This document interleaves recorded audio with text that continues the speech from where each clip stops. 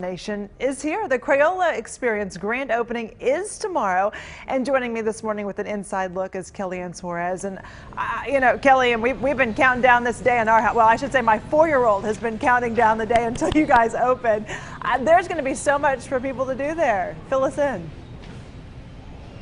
I am so excited to be chatting with you. And Lauren, I remember I was talking to you during Chalk the Lot, which was our groundbreaking event yes. in June.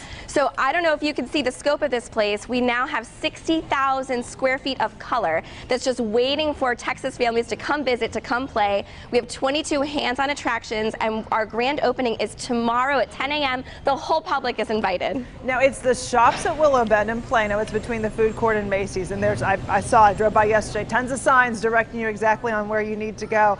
But when you talk about these, these 22 hands-on attractions, fill us in on, on, on some of the big ones. What do you think is going to be the most popular? Popular?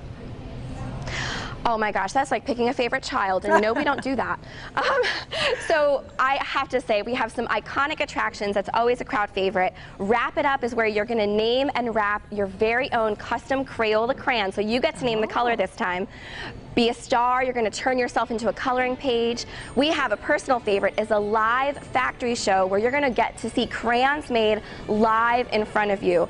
Absolutely not to be missed. And in addition to the, the classic tactile things like coloring, uh, uh playing with chalk, we have really high-tech digital things as well. So in Adventure Lab, you're going to explore a, a lab that's gone wild and, and kids are going to help solve colorful challenges. You're going to climb a two-story playground. Um, you're going to turn your yourself into a dancing crayon character. Oh. There's so much to do. Families will keep coming back over and over. It is so colorful. Now, there, there are a few, I mean, we're, we're pretty lucky to have one of these in Plano. There's just a few of them in the country, right?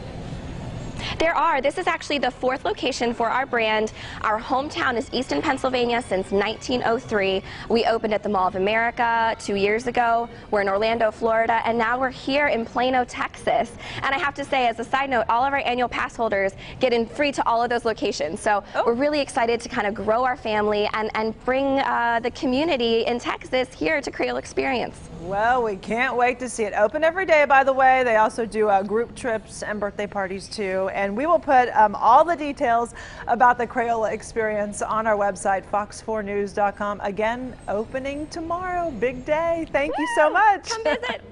Thank you, Lauren. It is 846.